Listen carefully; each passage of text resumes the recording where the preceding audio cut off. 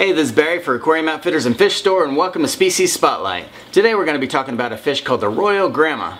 The Royal Gramma can be found in the Caribbean and the tropical West Atlantic. The Royal Gramma basslet, also known as the fairy basslet, is a small fish that brings a lot of color with it. In the wild, these guys are often found in deep water reefs, so in aquariums they do appreciate caves and rock structures to hide in. They're fine in fish-only systems, but they may be a little happier in a reef tank. They'll probably find a little territory like a cave where they'll gravitate towards.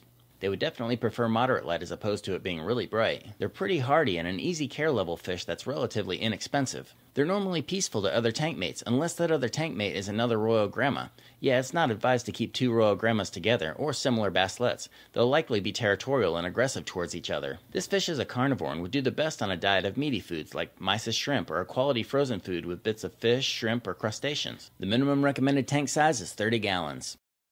So let's go over our checklist. The Royal Gramma is an easy care level fish that is peaceful and they work well in both reef and fish only tanks.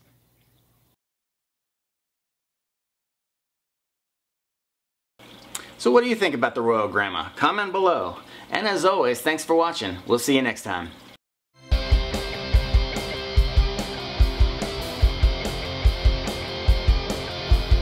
Royal Grammas commonly live five years in aquariums, but there have been some reports of them living a good bit longer when well cared for.